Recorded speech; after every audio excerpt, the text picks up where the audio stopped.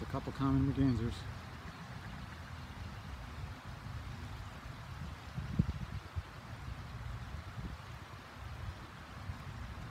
You never know what you'll see in the river.